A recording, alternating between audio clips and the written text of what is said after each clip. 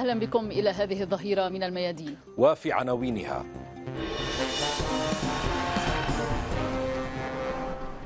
بعيد اعتقاله مجددا فجرا في جنين القيادي في الجهاد الإسلامي الأسير خضر عدنان يبدأ إضرابا عن الطعام والحركة تؤكد الاعتقالات لن تؤثر في مسيرنا ومقاومتنا.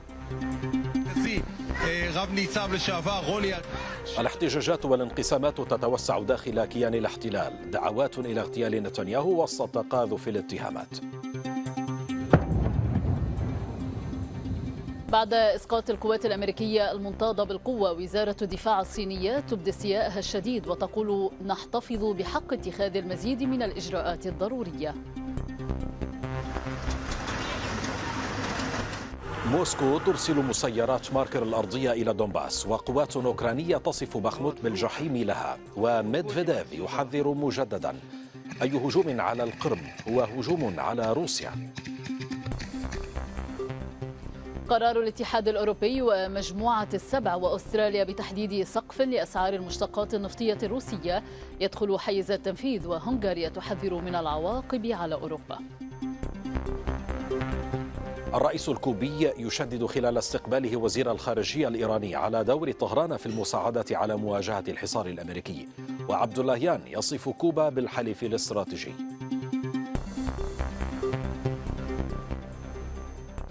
صعدت قوات الاحتلال من اعتداءاتها التي طالت فجر اليوم القيادي في حركة الجهاد الإسلامي الشيخ خضر عدنان وذلك بعدما اعتقلته من منزله في بلدة عرابة جنوب غرب جنين. وقد دخل الأسير عدنان إضرابا عن الطعام فور اعتقاله بحسب ما أكدت زوجته في تصريح للميادين مشيرة إلى أن الاحتلال عاث خرابا في المنزل وفجر أبوابه خلال الاعتقال. تم اقتحام منزلنا أخي الكريم الساعة الثانية فجر. آه، قاموا بتفجير جميع مداخل المنزل والأبواب آه، يعني رغم أنهم كانوا متواجدين داخل المنزل يعني هم فجروا الأبواب بعد دخولهم للمنزل. من باب التخريب والدمار للبيت قاموا بتفتيش المنزل بالكامل آه، في كل ركن قاموا بالتخريب كل شيء يستطيعون فيه التخريب يعني من تمزيق الكنب أو من خلع الخزائن أو الأبواب أو تكسير المري ومن هذه الأمور قاموا بتخريبها. وبالإضافة إلى أنهم قاموا بالاعتداء على الشيخ بعد أن أعلن الشيخ اضرابه عن الطعام وقال لي أم عبد الرحمن أنا أعلنت اضرابي عن الطعام والكلام استفز الضابط والجنود وقاموا بإبعادنا نحن والعائلة يعني أبنائي وقاموا بالاعتداء على الشيخ وضربه. وبعد ذلك قال لي أنه سوف يدمر المنزل أو يخرب المنزل وقام بالتفتيش والتخريب في المنزل وبعد ذلك تم اقتياد الشيخ للاعتقال. وبالتزامن شنت قوات الاحتلال حملة مداهمات واسعة في جنين وتصدى لها المقاومون. وأفاد مراسلنا بأن الاحتلال اقتحم كذلك منزل القيادي في الجهاد الأسير المحرر ماهر الأخرس لاعتقاله لكنه لم يجده. واقتحم منزل زوجة الأسير المريض وليد الدقة واعتقل عددا من الشبان كما تصدى مقاومون لهذه الاعتداءات بالنيران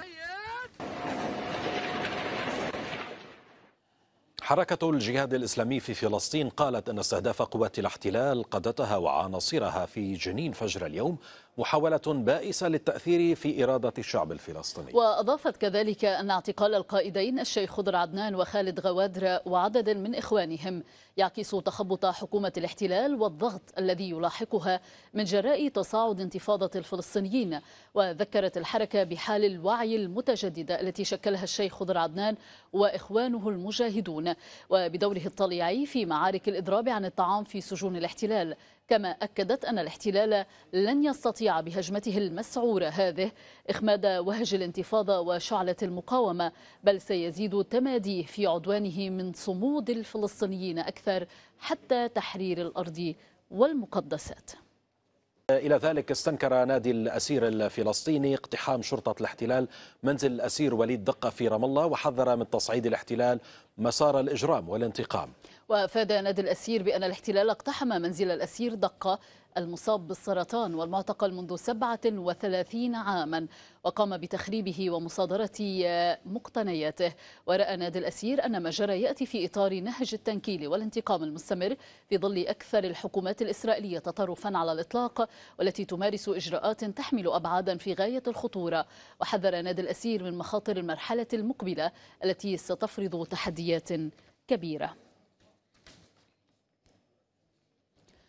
وتنضم إلينا من باقة الغربية زوجة الأسير وليد دقة. سيدة سناء سلامي نرحب بحضرتك سيدة سناء. ونسأل في البداية ما الذي جرى اليوم صباحا في منزلك؟ وكيف اقتحمت قوات الاحتلال المنزل؟ وكيف هو حال المنزل ما بعد الاقتحام والاعتداء؟ أهلا بكم عزيزتي. آه، آه، يعني في ساعة مبكرة صباحا آه، قامت قوات كبيرة جدا من الشرطة والوحدة الخاصة التابعة للشرطة آه، باقتحام المنزل بطريقة همجية كانوا جدا عدائيين آه، لأني لم أسمح لهم آه، التقدم يعني نحو البيت إلا إذا رأيت أمر قانوني يعني بالتفتيش وبالاقتحام بين قوسين. نعم.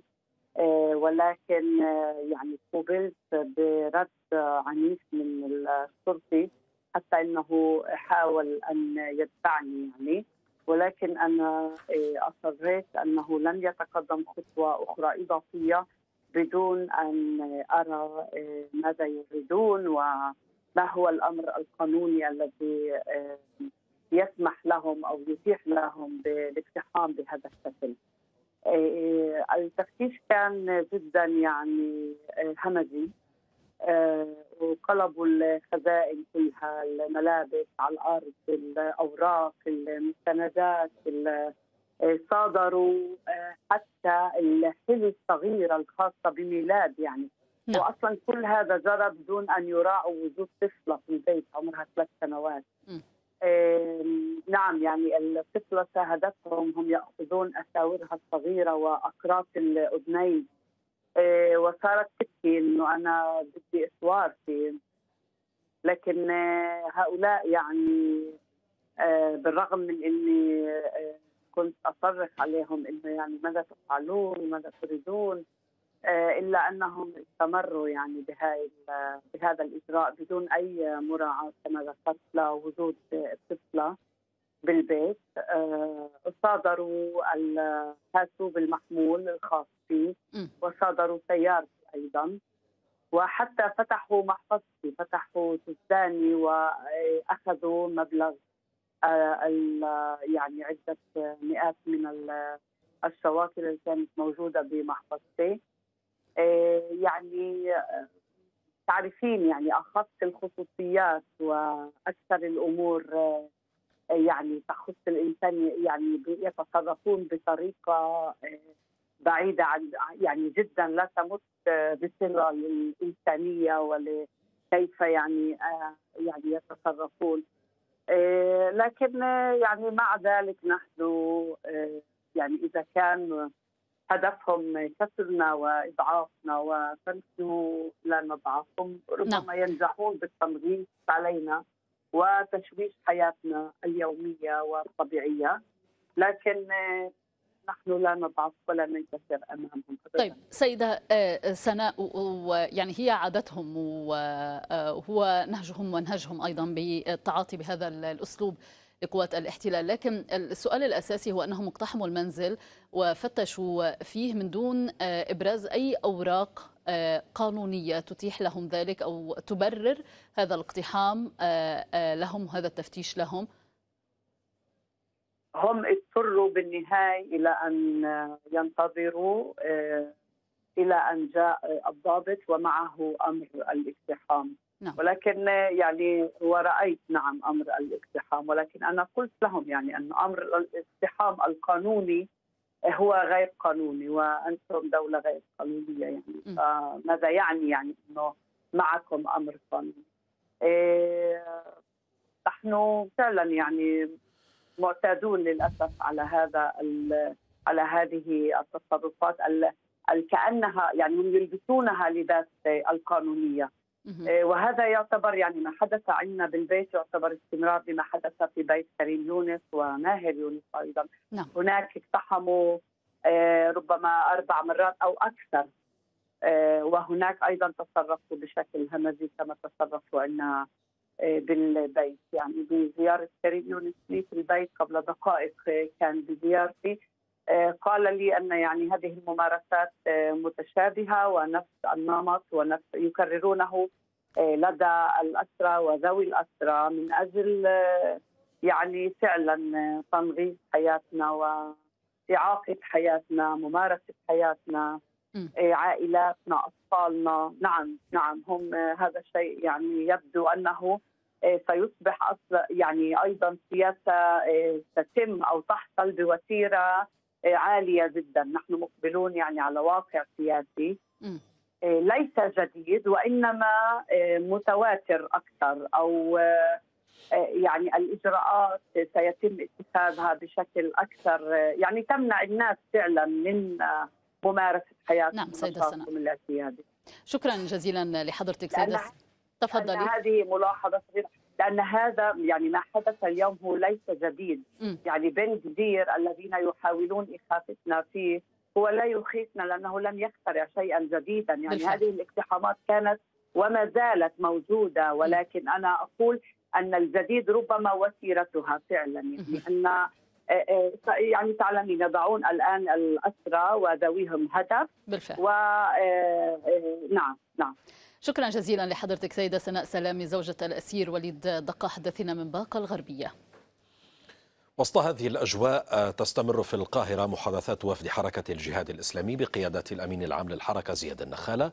الذي من المقرر أن يلتقي مجددا اليوم رئيس جهاز المخابرات العامة المصرية اللواء عباس كامل. وكانت مصادر فلسطينية قد كشفت للميادين أن المباحثات بين الجانبين لم تسجل اختراقا جديا حتى الآن. المصادر لفتت إلى أن النقاش بين وفد الجهاد بقيادة زياد النخالي والمخابرات المصرية يتركز على نشاط الجهاد في جنين وتهدئة الأوضاع في الضفة الغربية المحتلة. وبحسب المصادر يريد الاحتلال الإسرائيلي تهدئة المقاومة أو تهدئة من المقاومة وعدم تدخل حركة الجهاد في القدس والضفة الغربية حتى لو استمرت عملياته. في المقابل وللأسبوع الخامس على التوالي شهدت تل أبيب تظاهرات حاشدة للإسرائيليين ضد ما تصفه حكومة نتنياهو بإصلاحاتها القضائية. يقول منتقدوها أنها تقوض نظام الضوابط الديمقراطية على الوزراء من قبل المحاكم. وقالت صحيفة هآراتس أن عدد المتظاهرين بلغ نحو 60 ألفا بينما تظاهر الآلاف في القدس المحتلة ومدن أخرى من الأراضي الفلسطينية المحتلة عام 48 وقد عبر رئيس الوزراء السابق يائير لابيد مجددا عن دعمه للتظاهرات وأيده في ذلك مسؤولون أمنيون سابقون.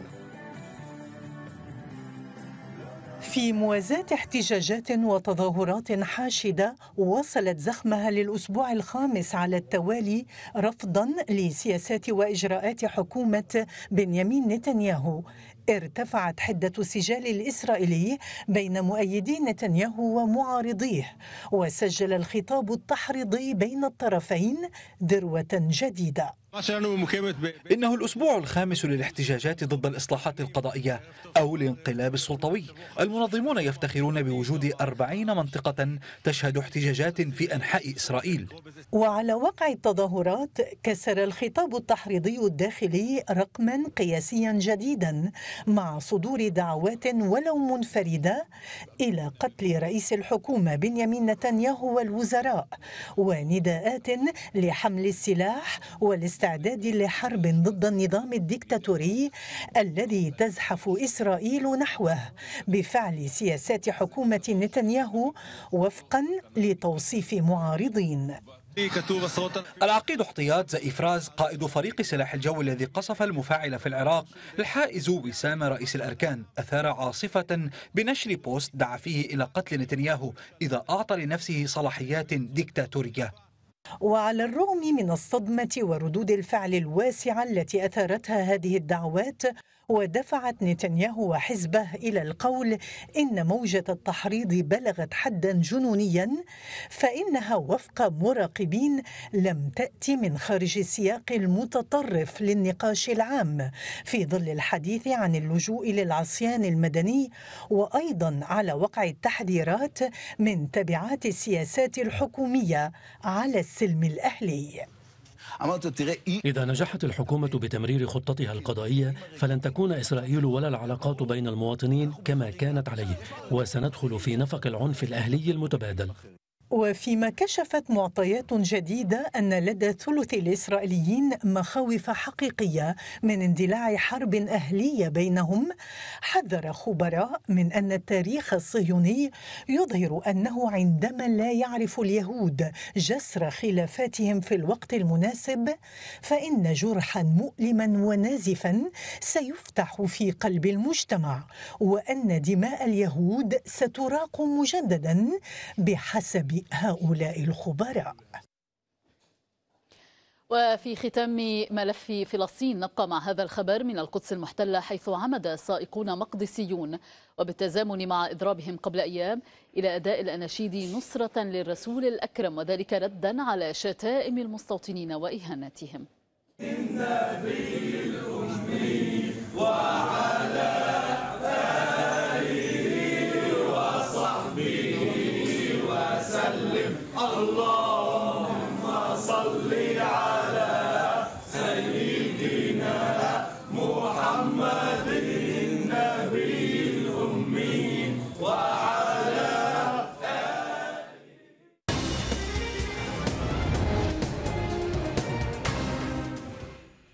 أعربت وزارة الدفاع الصينية عن استيائها الشديد من إسقاط الولايات المتحدة منطادها المعد لأغراض مدنية بحسب بيانها. واتهمت الوزارة الأمريكيين بالمبالغة في رد الفعل تجاه المنطاد باستخدام القوات العسكرية. كما أكد بيان للمتحدث باسمها أن الصين تحتفظ بحق اتخاذ المزيد من الإجراءات الضرورية. الخارجية الصينية وفي بيان لها كانت قد اتهمت بدورها الولايات المتحدة بالمبالغة في رد الفعل وبانتهاك الممارسات الدولية على نحو خطر وحذرت من أنها تحتفظ بحق اتخاذ مزيد من الردود الضرورية وأشارت إلى أنها طلبت من واشنطن معالجة الأمر على نحو المناسب إلا أن الأخيرة أصرت على استخدام القوة وحذرت الولايات المتحدة من الاستمرار في سياساتها الحالية. نحمي بحزم سيادتنا الوطنية وأمننا ومصالحنا التنموية. لا تخجل الصين من المنافسة أو تتوانى عنها. ومع ذلك فإن الجانب الصيني يعارض العلاقات التي تسعى إلى الاحتواء والقمع باسم المنافسة. ترغب الصين في تعزيز التعاون مع الولايات المتحدة في المجالات الثنائية والمتعددة الأطراف على أساس الاحترام المتبادل والمساواة والمنفعة المتبادلة. لكن واشنطن لا يمكنها أن تطلب التواصل والتعاون وتتدخل تتدخل في الشؤون الداخلية للصين وتضر بمصالحها. هذا وقد وثقت مقاطع فيديو لحظة إسقاط صاروخ أطلقته مقاتلة أمريكية منطاد التجسس الصيني الذي حلق لأيام فوق الولايات المتحدة. وأظهرت مقاطع الفيديو التي بثتها قنوات أمريكية المنطاد وهو يسقط عموديا عقب استهدافه بصاروخ. وكانت وزارة الدفاع الأمريكية قد أوضحت أن إحدى مقاتلاتها من طراز اف 22 أسقطت المنطاد في المجال الجوي فوق ساحل كارولينا الجنوبية. الرئيس الأمريكي جو بايدن أكد أنه أصدر أوامره الأربعاء الماضي بإسقاط المنطاد الصيني وأوضح أن تقدير المسؤولين في البنتاغون كان انتظار المنطقة الأكثر امانا لتنفيذ مهمة الإسقاط بعدما أبلغ وزارة الدفاع أنه يريد إسقاطه في أقرب وقت ممكن. عندما أبلغت الأربعاء بالمنطاد أمرت وزارة الدفاع بإسقاطه حينها في أقرب وقت ممكن. ومن دون إلحاق الضرر بأحد على الأرض قرر البنتاغون أن التوقيت الأفضل هو عندما يكون محلقا فوق الماء وقد أسقطوه بنجاح. من جهته قال وزير الدفاع الأمريكي لويد أوستن إن وجود المنطاد الذي جرى إسقاطه انتهاك غير مقبول للسيادة وأضاف إن عملية الإسقاط جرت على ارتفاع عال. وكرر مسؤول في البنتاغون القول إن المنطاد ليس للطقس بل هدفه التجسس على مواقع عسكرية حساسة وأنه جزء من أسطول مناطيد صينية تجسست على القارات الخمس. وعلى خط موازن ذكرت وسائل إعلام يابانية أن طوكيو تنوي النظر في طلب بشأن نشر صواريخ أمريكية متوسطة المدى في أراضيها إذا بدأت الولايات المتحدة مفاوضات رسمية بهذا الشأن. وأفادت تلك الوسائل بأنه يجري الحديث عن نشر صواريخ توماهوك المجنحة وصواريخ فرد صوتية لا تزال قيد التطوير حاليا. ولم تستبعد احتمال نشر الصواريخ في السفن الحربية الأمريكية المرابطة في منطقة المحيطين الهندي والهادئ على أساس التناوب بحسب وسائل الإعلام اليابانية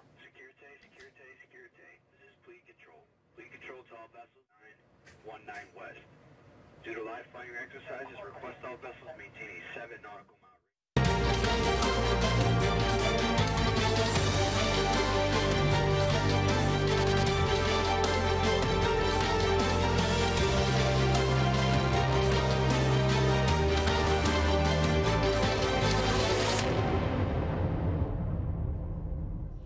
إلى روسيا حيث أعلنت وزارة الدفاع بعد ظهر اليوم عن التقدم والسيطرة على مواقع مهمة في محور دونيتسك وتصفية 400 جندي أوكراني وأسقاط مسيرتين واعتراض الكثير من الصواريخ في مناطق متفرقة. وكانت روسيا قد أرسلت مسيرات ماركر الأرضية إلى أقليم دونباس وهي مسيرات قادرة على ضرب الطائرات المسيرة. ونشر موقع شركة فاغنر العسكرية مشاهد تظهر وصول مسيرات ماركر وهي عبارة عن روبوت مزود بمدفع يطلق حزمات من أشعة ليزر ويمكن استخدامه لتدمير الطائرات المسيرة. ويعد روبوت ماركر قاعدة إنشاء لنماذج قتالية عالية التقنية تستخدم في حروب المستقبل. إلى ذلك نشر جنود أوكرانيون مقاطع فيديو أثناء انسحابهم من منطقة باخموت وهم يناشدون قيادتهم إنقاذهم ويصفون المعركة بالجحيم. لقطات الفيديو تظهر عددا من العسكريين منسحبين من المنطقة بعد نجاتهم من المعركة حيث يسمح للقوات الأوكرانية بالهروب من الجانب الغربي لمدينة أرتيوموفسك باخموت والتي تثبت آه، أو والتي تثبت فيها قوات فاغنر الروسية مواقع ونقاط سيطرتها.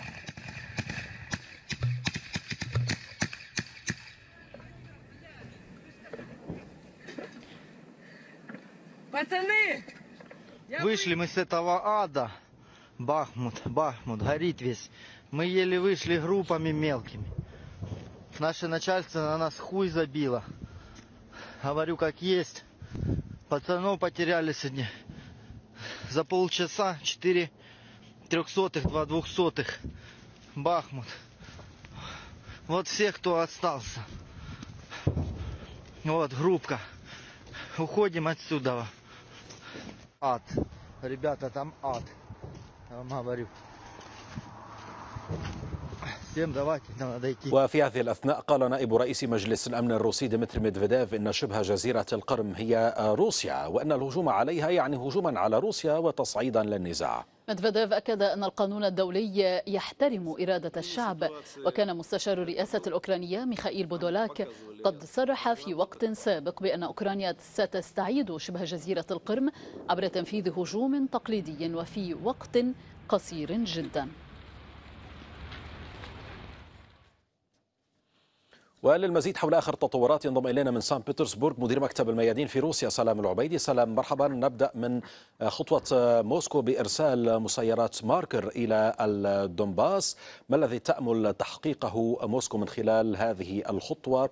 وأي تغيير تتوقعه في الميدان مع دخول هذه المسيرات إلى الدنباس أهلا بك أحمد. في الواقع دخول مثل هذا النوع من الأسلحة إلى ميدان القتال يشير إلى أن روسيا تستعد إلى مرحلة جديدة من العمليات العسكرية خاصة أن سلاح المسيرات أصبح آه، سلاحا آه، لم يكن اساسيا فأحد الأسلحة المهمة في هذه المعارك آه، يستخدم هذا السلاح على نطاق واسع منذ بداية العملية العسكرية الروسية في أوكرانيا. وأيضا يتوقع أنه بعد أن تحصل أوكرانيا على الآليات العسكرية الجديدة من دبابات ومدرعات هذه الآليات ستحتاج إلى غطاء جوي بكون أن أوكرانيا ليس لديها سلاح جو يفترض أنها ستلجأ إلى استخدام المسيرات لتأمين اسناد ناري وغطاء جوي لهذه المدرعات آه، في المعارك المستقبلية، لذلك روسيا تستعد من الآن آه، لمثل هذا التطور وهذا الاحتمال في التصعيد العسكري على جبهات القتال ولذلك استجلبت واستخدمت هذه الروبوتات هذه الآليات المتطورة التي لم تستخدم من قبل في عمليات عسكرية جرى تجريبها في الأشهر الأخيرة وأظهرت كفاءة عالية تزيد على 80% لذلك روسيا تستعد إلى المرحلة المقبلة من العملية العسكرية بعد أن تتمكن كما تأمل وتتوقع من تطهير معظم أراضي جمهورية دونيتسك الشعبية وكذلك خرسون وزاباروجيا. فالمرحلة المقبلة هي ستكون مرحلة التصدي للهجوم الاستراتيجي واسع النطاق الذي يقال سواء كان في روسيا أو في الغرب أو في أوكرانيا بأن الجانب الأوكراني قد يستعد له في المستقبل خاصة فيما يسمى بالحملة الصيفية. وهنا أيضا هذا يصب فيما يقال ويشاع ويصرح به فيما يتعلق بالقرم يعني الهجوم الاستراتيجي العسكري الأوكراني آه، في المرحلة المقبلة ما يسمى بالحملة الصيفية سيكون موجها نحو محور ميليتوبل وصولا إلى شبه جزيرة القرم فلذلك روسيا تعد العده للتصدي لكل طيب. هذه الهجمات باستخدام هذا النوع الجديد من الأسلحة الذي يعتمد على تكنولوجيات عالية كاللي... ك يعني أشعة الليزر. طيب سلام بالحديث عن القرم. كان هناك آه، تحذير وتأكيد جديد من روسيا حول شبه جزيرة القرم خاصة بعد الحديث الأوكراني عن إمكانية استهداف القرم ولا سيما بعد آه، يعني قرار واشنطن بإمداد كييف بصواريخ بعيدة المدى. آه، كيف تتوقع آه، روسيا أن تتلقف كييف؟ والغرب هذه الرسالة فيما يتعلق ب التحذير من استهداف القرم يعني آه، موسكو تقول أن القرم روسية وأي استهداف للقرم هو هجوم على روسيا آه، نعم أحمد كما يعني هو شائع هنا في روسيا والكل يتحدثون بكل وضوح أن القرم هي أرض مقدسة بالنسبة لروسيا سواء كان للدولة أو للحكومة أو للقيادة أو للشعب. أو لسكان القرم أنفسهم الذين انضموا طواعية إلى روسيا بعد استفتاء عام 2014 لذلك كل الأحاديث التي تجري خاصة في كييف حول إمكانية أن كما قلت قبل قليل أحمد أن الهجوم الاستراتيجي في الحملة العسكرية الصيفية سيكون متوجها يعني متجها نحو القرم عبر ميليتوبل في مقاطعة زاباروجيا فهذا يجعل القيادة الروسية أن تصدر مثل هذه التحذيرات والإنذارات بأن لا شيء آه، محظور في الدفاع عن شبه جزيرة القرم. ولذلك روسيا حولت هذه المنطقة إلى قلعة حصينه ومتينة زودت بكل معدات الدفاع وأيضا بالسلاح النووي. ويعني كل شيء متواجد هناك كل شيء متوفر. وكانت هناك محاولات كثيرة لمواجهة شبه جزيرة القرم. باءت كل هذه المحاولات بالفشل من خلال القدرات الدفاعية العالية آه، التي أقامتها روسيا في تلك المنطقة. فلذلك هي في نفس الوقت يعني آه، رسالة تشير إلى أن روسيا ستدافع باستماتة عن شبه جزيرة القرم وستتصدى لكل المحاولات. ولذلك هي أيضا رسالة تحذير من مغبة إقدام أوكرانيا بدعم غربي بما في ذلك من خلال مد أوكرانيا بأسلحة أكثر آه، يعني مداياتها تصل أكثر ويمكن أن تصل آه، عمليا إلى شبه جزيرة القرم أحمد. شكرا لك على كل هذه التفاصيل. سلام العبيدي مدير مكتب الميادين في روسيا. كنت معنا من سان بطرسبرغ الرئيس الأوكراني فولوديمير زيلينسكي حذر من أن الوضع على الخطوط الأمامية في شرق البلاد يزداد صعوبة. وأشار إلى أن روسيا ترسل المزيد من القوات إلى ساحة المعركة كما أكد أن الوضع صعب جدا في بخموت وفريدار وليمان ومناطق أخرى. كان علي أن أقول أن الوضع في الجبهة كان صعبا ويزداد صعوبة وقد حان الوقت لأقول ذلك مرة جديدة. الأمر صعب للغاية الآن في بخموت وفلدار وليمان ومناطق أخرى. نحن نعمل على ملائمة قراراتنا المتعلقة بالعقوبات مع تلك التي أعلن عنها شركاؤنا هذا وأرسلت كندا أول دبابة من نوع ليوبارد 2 إلى أوكرانيا بحسب ما أعلنت وزيرة الدفاع أنيتا أناند. وقالت إن كندا تتضامن مع أوكرانيا وستواصل تزويد قواتها المسلحة بمعدات تحتاج إليها للانتصار. وأضافت أن دبابات القتال في طريقها لمساعدة أوكرانيا كما شددت على أن دعم كندا لأوكرانيا لا يتزعزع.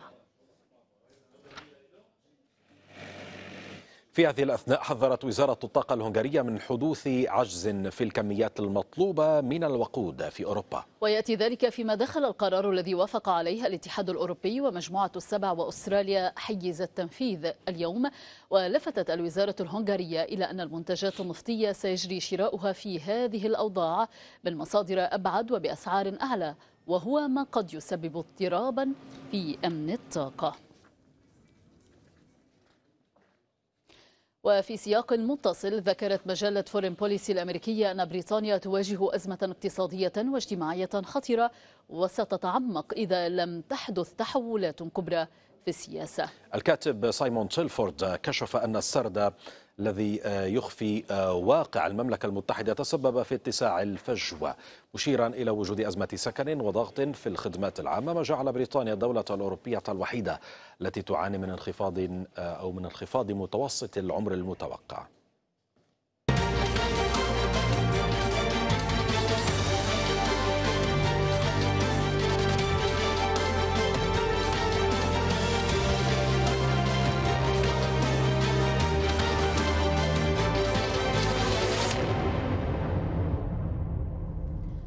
إلى العراق حيث من المقرر أن يصل مساء اليوم وزير الخارجية الروسي سيرجي لافروف على رأس وفد حكومي لبحث جملة من القضايا ذات الاهتمام المشترك. وبحسب المتحدث باسم الخارجية العراقية أحمد صحاف سيلتقي لافروف نظيره العراقي فؤاد حسين الاثنين إضافة إلى رؤساء الجمهورية والحكومة والبرلمان. الصحاف أضاف أن الزيارة تأتي تأكيدا لانفتاح العراق على جميع شركائه وأصدقائه ولأهمية العلاقات الاستراتيجية مع الجانب الروسي ومعنا من بغداد مدير مكتب الميادين عبد الله بدران نرحب بك عبد الله ونسأل عن هذه الزيارة أهدافها وأهميتها أيضا في هذا التوقيت بالذات.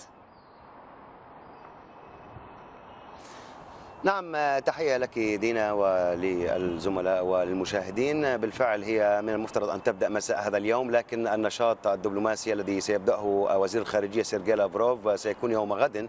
بعد جولة مباحثات مع وزير الخارجية العراقي فؤاد حسين. بعد ذلك يلتقي بالرئاسات العراقية الثلاث.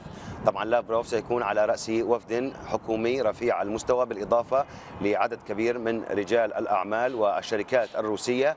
منها طبعا العاملة في العراق ومنها البعض الآخر الذي يبحث عن فرص استثمارية في العراق. في هذا التوقيت العراق يحاول أن يوضح مرة أخرى أنه بعيد عن نادي السوق الموحد أو الالتحاق بقرار اقتصادي مرتبط بشكل واضح باتجاه واحد وهو ما تحدده الولايات المتحدة الأمريكية. نتحدث هنا عن الجانب الروسي على اعتبار أن روسيا وقبلها الاتحاد السوفيتي كان من الدول الحليفة والصديقه للعراق والتي كانت حاضرة بشتى المجالات في العراق. بعد العام 2003 أريد إفهام الجميع أن العراق أصبح أمريكيا وأنه انتقل بكل ملفاته وبكل ما تأسس عليه انتقل انتقالا لمرحلة جديدة وهي في جانبها الاقتصادي والسياسي والفني والثقافي وغيرها إلى واشنطن. بغداد طبعا تدرك حجم قوتها تعلم ما هي المساحة التي يمكن أن تتحرك من خلالها. مضافا لذلك تريد أن تفتح بوابات أكثر بينها وبين موسكو خصوصا ولا يمكن إغفال أن جزءا كبيرا من تسليح القوات العراقية بمختلف صنوفها القوات المسلحة هو يعتمد بشكل أساس على السلاح الروسي. وهذا السلاح بعضه وصل بعض البعض الآخر لم يصل المحدث منه. انقطع العراق حاولت واشنطن مثلا عندما تأسس الجيش العراقي أن تحول العقيدة العسكرية والتسليح العراقي بكامله إلى برنامج أمريكي والشركات الأمريكية لكن لا زال العراق الذي تأسس جيشه منذ بداية بدايات تحديثه منذ عقود هو وقد اعتمد النظام في التسليح الروسي. هذا من جهة. من جهة أخرى هناك الجانب الاقتصادي والاستثمارات في مجال النفط وفي مجال الغاز. في من الناحية الاقتصادية نعم هناك شيء لافت. يوم ثمانية من هذا الشهر سيتوجه وفد عراقي رفيع نعم. المستوى إلى واشنطن برئاسة وزير الخارجية فؤاد حسين مضافا لذلك أن هناك لقاء قد جمع محافظ البنك المركزي العراقي علي العلاق بنائب وزير الخزانة الأمريكي لأسباب تتعلق بالتخبط الذي حصل في سعر صرف الدينار العراقي وارتفاع صرف الدولار في الأسواق العراقية وتم الوصول إلى حل مؤقت يمكن البناء عليه بعث طمأنينة بين الجانبين بين بغداد وواشنطن لجهة العملة وتهريب العملة وما إلى ذلك مضافا لذلك العراق يتحرك نلحظ أن هناك كانت زيارة لرئيس الوزراء لألمانيا لفرنسا يتوقع يوم الخميس المقبل أن تكون هناك وفق معلومات الميادين زيارة لرئيس الوزراء إلى الإمارات وبالتالي يحاول أن يتحرك العراق سريعا خصوصا في جانب العلاقات الثنائية وتوسعة الملف ملف العلاقات الخارجية للحكومة الحالية نعم دي. هل كل ذلك انعكس على وضع العملة العراقية عبد الله حتى الساعة؟ آه، لم أسمع سؤال واضحا إن كان متعلقا بالعملة العراقية آه، هي شهدت تخبطا نعم. طبعا هناك انخفاض في سعر العملة في السوق نعم. العراقية علما أن الحكومة العراقية صممت اللقاءات نعم. التي صممت الحكومة على أن تبقي منافذ استقر نسبيا يمكن القول أن سعر الصرف استقر نسبيا بعد تعهدات قدمها العراق وبعد أدلة قدمها العراق. ليس صحيحا ما يشاع كما هي الرواية الرسمية العراقية أن الأموال تهرب بشكل كامل وبالكاش إلى آه، إيران. هناك تهريب باتجاه تركيا وهو ما أخذ نسبة أكبر. هناك تهريب باتجاه آه، عدد من الدول المحيطة بالعراق منها الأردن. آه، وبالتالي هناك منافذ هناك آليات تهريب العملة ليس فقط بعملية النقل المباشر البري أو عبر مافيات نقل العملة. لا هناك أبواب رسمية تهرب من خلال العملة. هذا تحدث به رئيس الوزراء العراقي؟ تحدث به المسؤولون المختصون آه، في هذا الشأن. العراق قدم الأدلة على اطلاع الحكومة العراقية وبرنامج الحكومة العراقية لما يتعلق بالسيطرة على العملة الصعبة لما يتعلق بالسيطرة على سعر الصرف بفتح منافذ كما تبيع سعر تبيع الدولار طبعا بالسعر المحدد من قبل الإدارة المالية في البنك المركزي العراقي وبالتالي رفعت كل الحجج بشكل رسمي وحد يعني على الورق وبشكل رسمي. بقي هناك التلاعب الكل يريد أن يعت... أن يقول دون أن يعترف أن هناك في زوايا لعبة الدولار لعبة سياسية أمريكية واشنطن في نهاية المطاف. تعتقد أنها خسرت موقعا متقدما في العراق هو رئاسة الوزراء. آه، لا تريد أن تحتسب رئيس الوزراء العراقي محمد شيع السوداني لا على واشنطن ولا على طهران لكنها تعتقد على الأقل أنها خسرت وبالتالي يمكن أن تكون هناك زوايا تلعب من خلالها بعدد من الأوراق لإرباك الوضع العراقي أو لعدم منح العراقيين فرصة لأن آه، يأخذوا متنفسا يتحركوا على أساسه وفق برنامج حكومي يمكن أن تنجح معه الإدارة الحالية التي تتحمل مسؤوليتها السياسية. في الإطار التنسيقي وبالتالي هي معركة صراعات يدرك العراقيون ذلك دون أن يعلنوه يبقون على تواصلهم مع الأمريكيين نعم. لرفع الحجج الأمريكية الموضوعة لما يتعلق بالدولار. اذا نعم. عبد الله بدران مدير مكتب الميادين في بغداد شكرا جزيلا لك. الظاهرة مستمرة وفيها بعد الفاصل.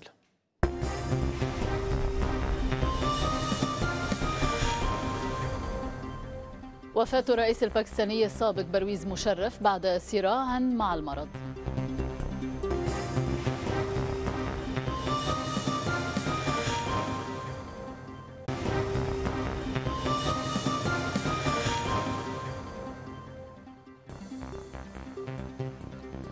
أهلا بكم من جديد ونستأنف هذه الظهيرة من كوبا حيث استقبل الرئيس ميغيل دياز كانال وزير الخارجية الإيراني حسين أمير عبد اللهيان وأعرب عن سروره بهذه الزيارة الأولى له إلى بلاده. وأكد كانيل أن كوبا وإيران تحافظان على علاقات صداقة واحترام جيدة مشيرا إلى أن هذا الوقت ممتاز لتوسيع العلاقات الثنائية وأن هناك إرادة سياسية لتعزيزها.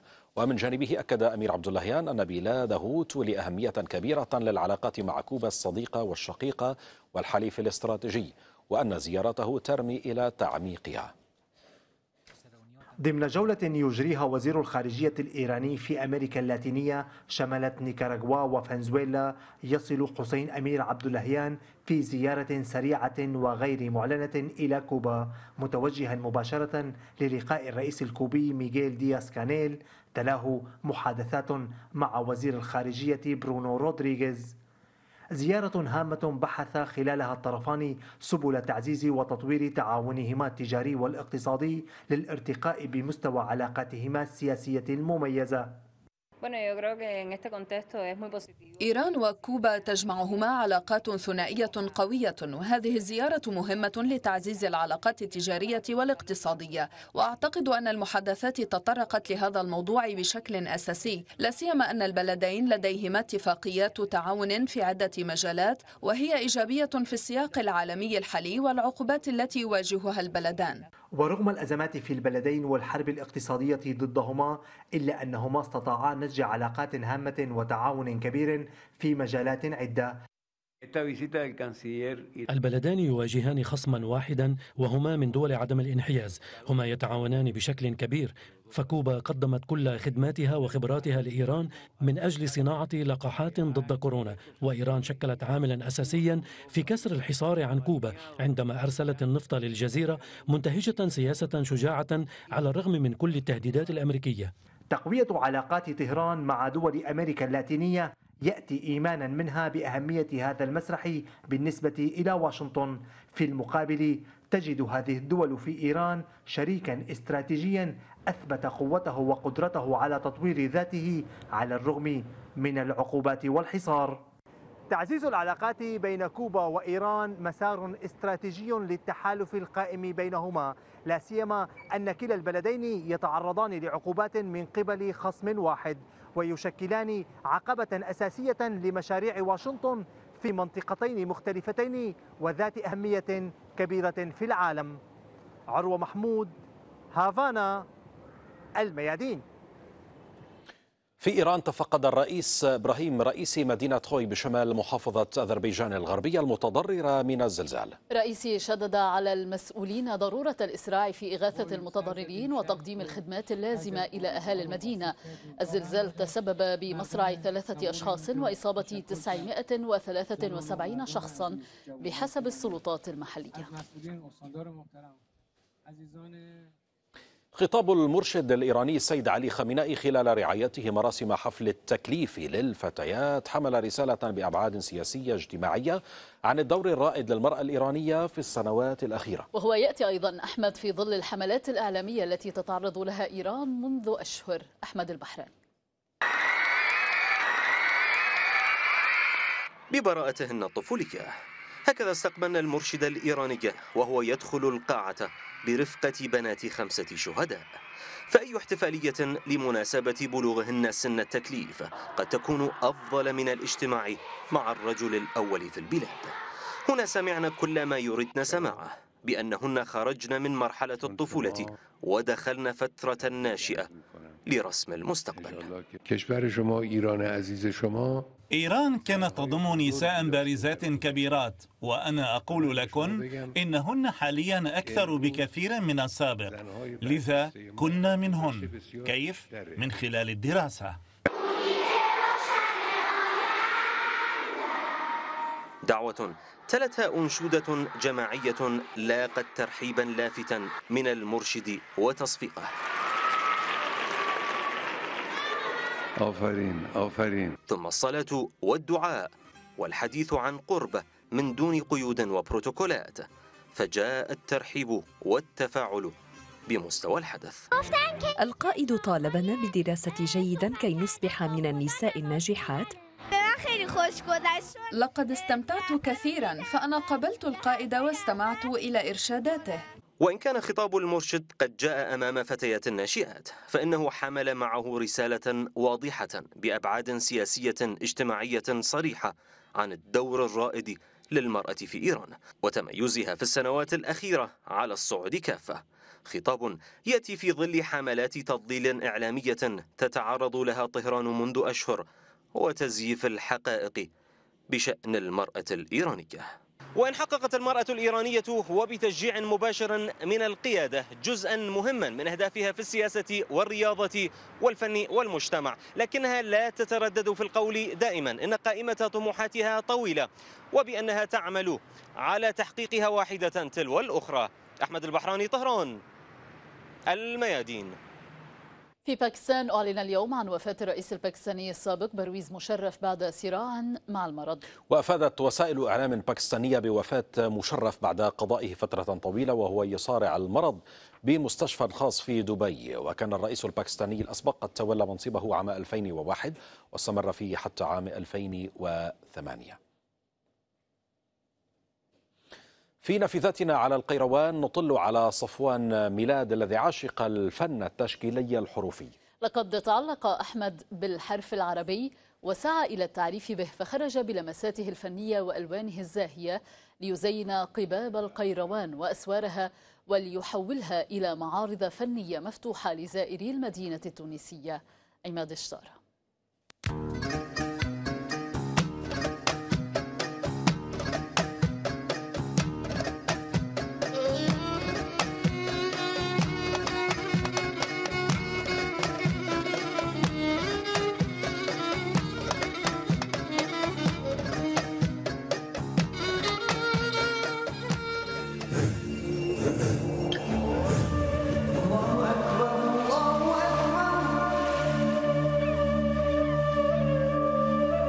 تعلق بالحرف العربي وسعى إلى التعريف به فإذا بالحرف يعرف بموهبته الفنية. هو صفوان ميلاد فنان تشكيلي حروفي ابن القيروان.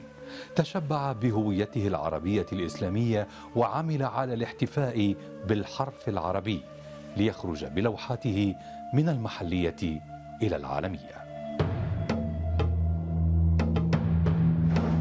الفن الحروفي يمتاز بالتشكيل والتجريد والتنميق وهو شكل من أشكال فنون الارابيسك اللي تمثل الهوية متاعنا وتمثل الأصالة. أنا صفوان ميلاد فنان تشكيلي حروفي. كنت نبحث على الفن الذي يمثلني. نلقى الوالد في كل مرة يضيف لي العديد من التقنيات. خذيت يعني الشكل الذي يتوجه نحو المشهد البصري من خلال تجميل الخط العربي. حبينا نفتح به نافذة للمنحى الجمالي. الخط العربي عنده أهمية كبيرة في العالم والعالم العربي وخاصة في تونس. حبيت الناس الكل تكون عندها إمكانية باش تشاهد الجمال عن قرب. خرج صفوان من الفضاءات المغلقة. حتى لا تبقى موهبته ولوحاته حبيسة الجدران. وطوع القباب والأسوار إلى ريشته وألوانه ليحولها إلى متاحف فنية مفتوحة للزائرين يعرف بها القيروان وتعرف به. ترعرعت في القيروان اللي تسخر بالموروث الثقافي والموروث التاريخي. الشيء اللي خلاني نخرج للمساحات العامة لتكون هناك لمسة حروفية تعانق المعمار من حيث الشكل الهندسي الكروي القباب. وكذلك تطويع الحرف والخط العربي الحرف الذي يقبل التشكيل ويقبل التجريد. فتحنا نافذة إلى العالم من خلال معارض مفتوحة في مدن أوروبية ولا من خلال استضافات. رسالتي يكون حروف القرآن حاضرة في كل زمان ومكان. قيمة اشترى تونس الميادين. وختام الظهيرة لليوم مع هذين الخبرين أولهما من روسيا. لنتعرف على كيفية البقاء شابا مهما زادت أعوام العمر. دينا يبدو أن من لديه الوصفة السحرية هو الروسي الستيني يوري بريسنوف. فيوري يبدأ نهاره يوميا بفنجان قهوة ومرتديا ملابس السباحة. يتوجه مباشرة إلى نهر نيفا للسباحة مهما كانت حالة الطقس. يوري يمارس رياضة الغوص في المياه الجليدية منذ عقدين من الزمن. ولا يملك بطاقة صحية ويركب الدراجة يوميا أيضا لأكثر من 20 كيلومترا في الشتاء. هذا هو سر الشباب الأبدي يقول الرجل الذي احتفل منذ أيام بعيده الستين.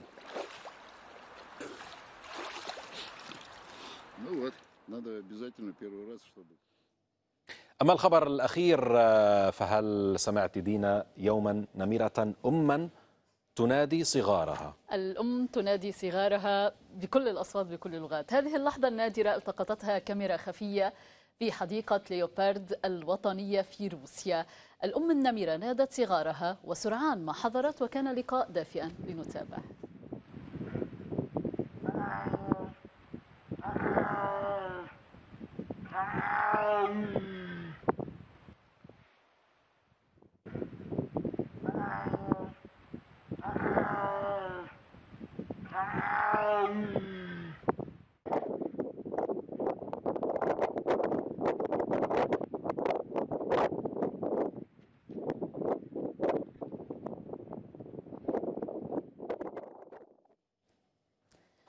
للمزيد من الأخبار والتقارير زوروا صفحات الميادين على الإنترنت الميادين دوت نت باللغات العربية والإنجليزية والإسبانية.